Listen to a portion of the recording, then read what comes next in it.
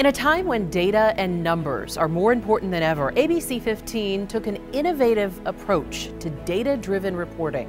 Two years ago, data analyst Garrett Archer transitioned from an elections analyst at the state level to an ABC 15 journalist. And from the time Garrett joined our newsroom, he helped us better prepare and target our numbers based reporting.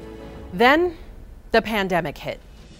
And Garrett's analysis of this constant flow of COVID 19 data from so many sources and his ability to make sense of it allowed us to fact check, plan, and anticipate stories without overhyping or over reporting the pandemic.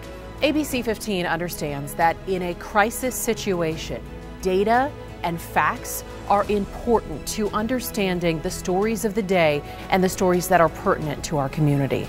I'm Katie Raml. This is why we do what we do.